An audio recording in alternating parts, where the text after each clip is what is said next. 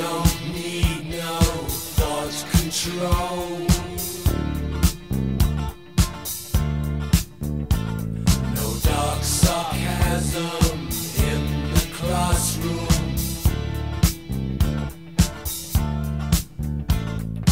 Teacher